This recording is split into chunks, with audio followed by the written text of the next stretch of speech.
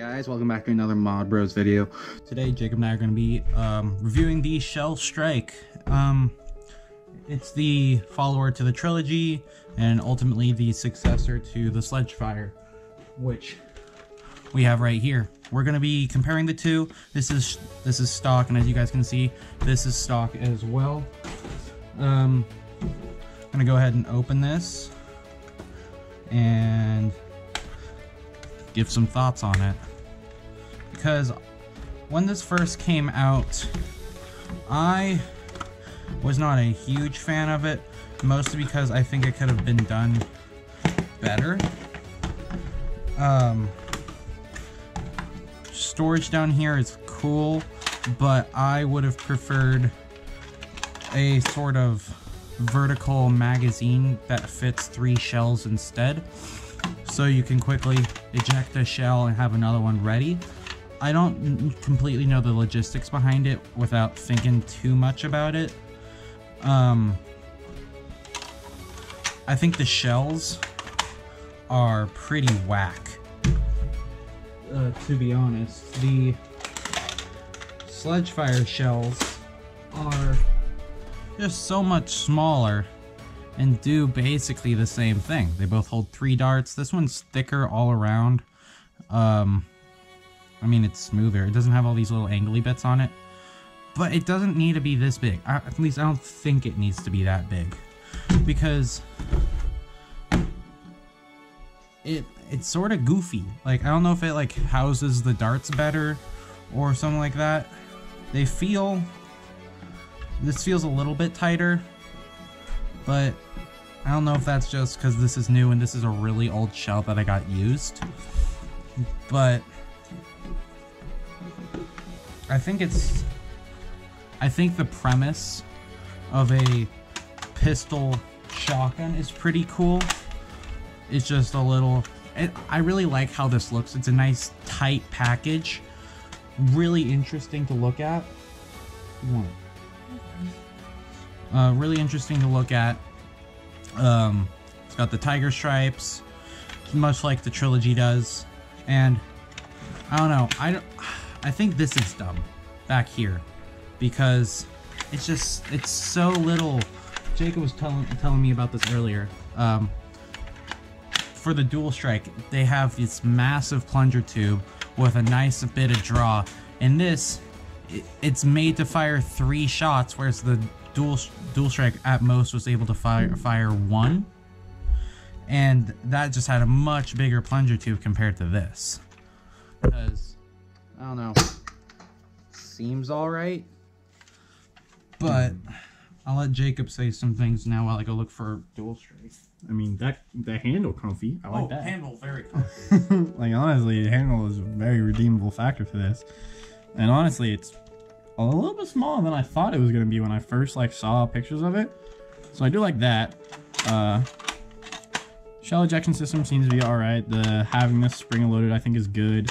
It's weird how this moves the plunger tube so that when it's not primed, it's much harder to do the side lever because you need to compress the spring. Uh, I have no issue pressing the lever, uh, but I know other people have said that they have because they have smaller hands. So definitely think this is kind of a weird thing for like children since I think that lever might be a little, a little far for them to reach. But I'm a big fan of the concept of this thing, but execution not so much. Uh, I will say this thing looks really nice integrated underneath something as like the single single tube like noob tube kind of thing like that looks cool and I like how this primes to make it functional for that and work well with that but it's really just not hitting the mark for me like power wise and like modability wise either uh I don't know why Hasbro refused to give you a third shell since it holds two here and then one in the chamber. Uh, that doesn't make any sense to me but that's classic Hasbro along with not painting one half the shell but whatever. Uh, but honestly like this thing if it were easily modified and had a better plunger tube system, I could see this thing being a pretty fun primary since you could have a nice like single barrel up top, which would be really powerful, and then you could just like fire that off, and then if you need to, you can quickly swap out the shell for say a triple dart one or like a Mega Dart one, just a bunch of like utility options. This thing would be great, but it's just. Oh, see, I even forgot there. I forgot you had to prime it and chamber it separately, which is interesting. I know I said that it was fine for the knockout, but the knockout is much easier to use than this is, in all fairness. And also, the knockout had a priming indicator. This has no form of a priming indicator whatsoever. Really? Yeah, not that I can see. Yeah, not even not even in there. It's got 21 FPS. All right, so Tucker's been firing some darts through our chronograph of a sledge fire. Have you been firing just one dart through? Just one. Okay, so I have one dart loaded in Sounds through like you can read more than one. through the shell strike in the bottom of the shell, and like my assumption is that'll be more powerful just because of like how things have been released and whatnot. 51. So yeah, like if we're wanting to compare these things purely stock, sure, the shell strike hits a little bit harder, is a little bit more comfortable because it's smaller and more compact. But in all in all, the sledge fire we've seen do such great things out there. Like the sledge fire can be made into such a great blaster. Yeah. Whereas this, from what I've seen online from other people who have done reviews or like tried to modify it, few people that have gotten this thing and modified it, they were getting like maybe a hundred FPS out of firing a single dart, and then it broke. like we haven't taken this apart to look at the internals, but we've seen the internals posted online. It the internals are just not that great, and like I don't know how much Tucker complained about these shells. They're weird. They're much bigger. They're bigger than their sh- sledge fire shell. They do, ha- do the same functionality. Hasbro already had these, but instead they decided let's make a new one. Yeah, and it's not even like based on the same mold because it's bigger and longer. Is it? About the same thing. Are they? They look longer. Yeah, they look like they're the same length to me. But I don't know. But still, it's just it doesn't make sense. Like this is uh, this is a one part mold for all this. Like I literally don't even see any seams where they could possibly glue this together. Whereas this is several pieces held together with like a screw. This can't be cheaper for Hasbro to produce than this, especially since they already had the molds for this and everything, and they had blasters and everything that worked on this, or at least they had one.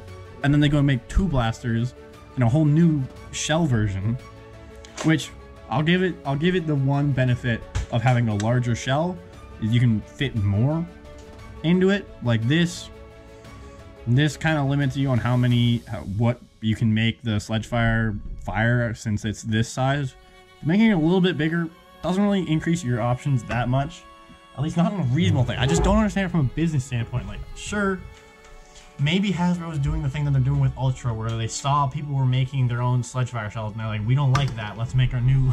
if anything, this is easier to make because it's it's it's just as simple to make as we've seen. People have already started making versions of these yeah, on Thingiverse, so it doesn't really matter what Hasbro wants to do. It doesn't matter, and like also, the fact that the plunger tube moves is especially weird for if you want to mod this thing to be great, because having a moving plunger tube does not help with consistency and seals and whatnot. They could have easily put a spring, like on the Sledgefire, a spring that held the shell back instead of pushing the plunger tube forward with a spring. yeah. Like I've never liked the strong arm or any really any of the revolver any of the turret fed blasters that their seal relies on the plunger tube being pushed forward by a spring. I've, I've just never liked that. And it just doesn't seem like a good idea for this. Yeah, because it's Where's hard to get it's hard to get good performance out of something that doesn't have like an something overlapping something for that kind of seal. All right, you were right. The shell design is good. It is but only slightly. This is like I don't know. Digital. It's digital, and then this one is tiger stripes. But yeah, so Tucker mentioned a thing that I was harping on a little bit earlier when we were just talking about this is that the dual strike could have easily been made to do what it does off of like a fire strike plunger tube, but instead they gave it a plunger tube similar to a long shot with a really comfy prime and a really strong catch system, which is great. People love the dual strike because you can make it into something really cool. I don't understand why when they were making something like this, they decided to give it shit shit. like uh, from what I've seen, the way this catch system works is similar to how you would on a uh, side strike. Mm-hmm. Like it's it's not a standard guillotine catch. It holds onto the plunger head all weird, which makes upgrading weird. I'm like, sure, this is Hasbro trying to stop modders from doing stuff, but it's just annoying. I don't get this, and I'm a big fan of this concept. I would love to have a single shot.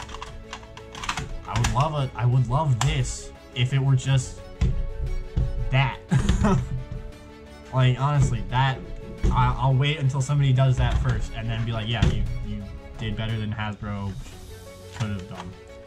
And like, sure, it'll be a little bit difficult because you have to keep the plunger tube able to move in order to make this thing actually work with the latch mechanism and the seal and whatnot. But honestly, if you just make uh, this plunger tube looks like it might be. I don't know. Maybe it's my brain just saying that it's slightly bigger just because I want it to be. But if it's slightly bigger than the dual strike plunger tube, or like any plunger tube you can find, you can easily make it so that that plunger tube seal inside of this plunger tube, and then you can still have this move, whereas the rear part stays in place. I think that could be pretty cool. And like this thing is very open to throw in whatever shells you want, and then you can make that thing open up in the middle to have better airflow.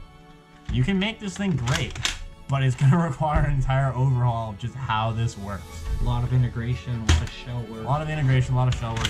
Literally, even if you if you if you prime it and pull the trigger, you can see the breach moves, which cannot be good. yeah. like seeing this thing wiggle around cannot be good for getting decent performance. So I hate I hate.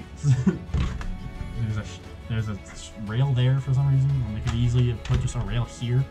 Since you have the prime here, they could easily made this part of the shell slightly taller and put a rail there. But instead they're like, nah, they want a rail on the bottom. They want that forward. Yeah. That's what they need. Uh, but yeah, I, I've seen people that have cut off the, the shell storage, and that looks like it's a very comfortable secondary type thing that they could make holsterable. But this currently fits in a weird place in my mind where if you cut that off, you can make this a really nice secondary. If you keep it on, you can almost make this a really nice primary if you change basically how it works. and it's just kind of annoying. Yeah, I I don't fully understand it either. I have plans. Maybe they're we loose love plans. the sledge fire. yeah, sledge fire is really great. I have loose plans for something like this. Like I said earlier, I'd like a vertical mag-fed shell firing blaster, and uh, to be like a secondary, a really fun primary. But I don't know how possible that is. But it's sort of, it's just sort of something that could be cool if was possible. But this, the Shell Strike followed the trilogy. I don't know why the Sledgefire never got a pistol version of itself. So the sledge fire is just better. Like, you remove the stock on the Sledgefire, and then you already have a better blaster than this, in my opinion. Being able to prime it by opening it and having a spring-loaded shell ejection is just better. The plunger tube on this thing is girth, which is great. It can take spring upgrades. The catch is strong and sturdy.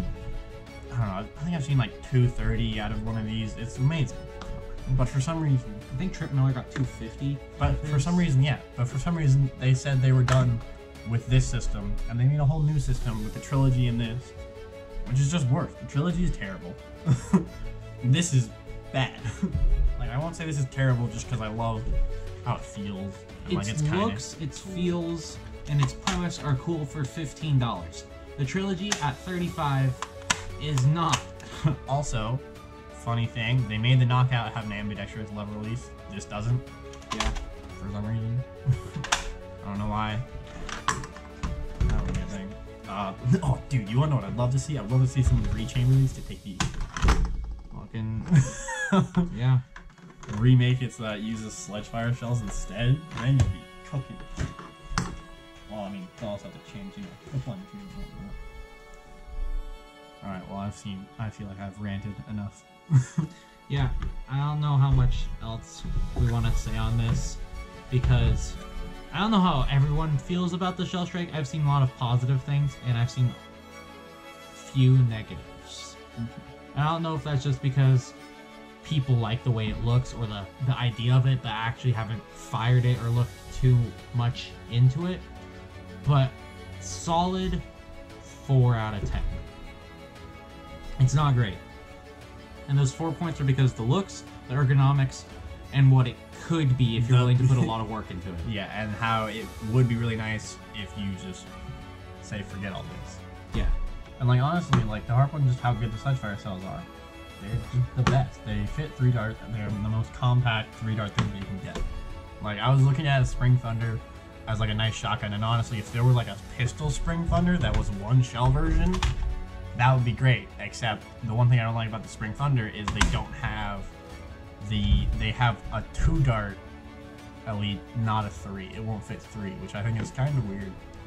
And so honestly, all I want is just like a shell-fed secondary, one shot that fires three elites, that can also be singled down to hit 200. But they couldn't do it with this. so sad times, big disappointment. Big if I, ever, loss. if I ever find one at a thrift store and I have a dual strike, I'll probably put them together if nobody's done that yet. But I don't know. Probably. Actually, I say I probably won't, but I probably will find one of these at a thrift store. Probably. um, Or if they go on sale. How much did you say it was already? it was 15. 15?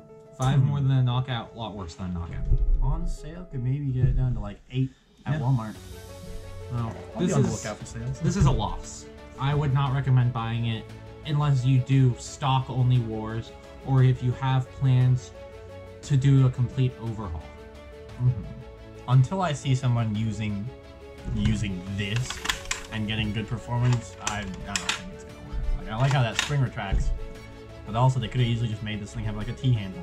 I don't like how back. it can't fit two fingers. Oh yeah, that's Comfortably. that's an interesting thing. How the handle is honestly bigger than I would need it to be.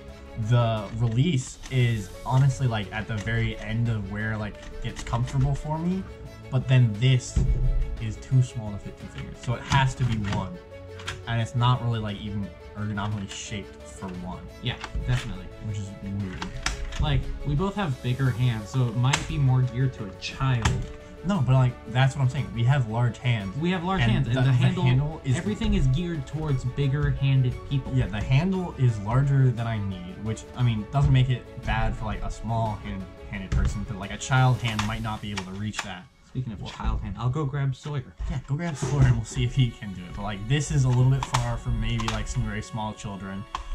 But then this is sized for them. And also it just doesn't prime very well. It just feels weird. I don't like like they could have made this thing have a slide, like the strong arm, and I would have been more fine with that. Honestly, I would have been about that. Alright, Tucker, hear me out. Yep. If this had a slide like the strong arm, Yeah, having a slide where you could grab it like this, like a Chronos or something, would make it so much better. Yeet. All right, Sawyer, we need you to hold the blaster. Okay. So Tell us how hold that comfortable it and. See if you can. Yeah, stay in camera. Stay in camera. So hold that and see how easily it is to fit the weapon with your one hand. God. See, it's a little hard for him because he's got smaller hands compared to us. Sawyer, see if you can fit two fingers in there. Is it comfortable? No. Can't even comfortably fit two fingers for a small, well, small child, I mean, I do have massive fingers though. but not compared to us. I know. So that just proves our point. It's not even comfortable for a child.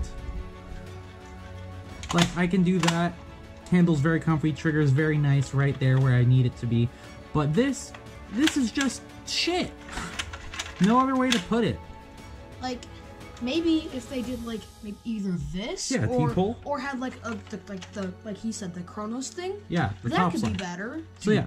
They, there's so much that they could have easily done better. And also just lowered the this. Like Yeah. why? Lowered it, put it on both sides. Or just Yeah. So rating still stands 4 out of 10. trash. Four out of ten. Doo-doo. Will pick up at a thrift store though, just to make it not trash. Yeah, so I might combine these two. I don't know, I might return it. I'm it's I would say three and a half. Sawyer gives it a three and a half. Even Jacob, do you worse, keep it at four out of ten? Yeah, I'll keep it at four out of ten. Yeah, that's an average of what, four, 3.8, 3.9. Sucks. Bad gun. Don't get it. Have you shot it? So if you guys like this video, if you have similar feelings on the side of the shell strike, um, tell us. Or if you don't, you you have other feelings and you think it's a good blaster, tell us as well in the comments down below. Uh, if you like this video, go ahead and smash that like button. If you're not subscribed yet, go ahead and hit that uh, subscribe button. And feel free to hit the bell icon. We have videos coming out every week on Wednesday at about noon Mountain Standard Time. Uh, we have an uh, Patreon now, so if you want to go over there, if you really like the channel, you want to help us out, make more videos, newer blasters, help our projects get funded. Big help. Um, and we'll see you guys in the next video. Bye.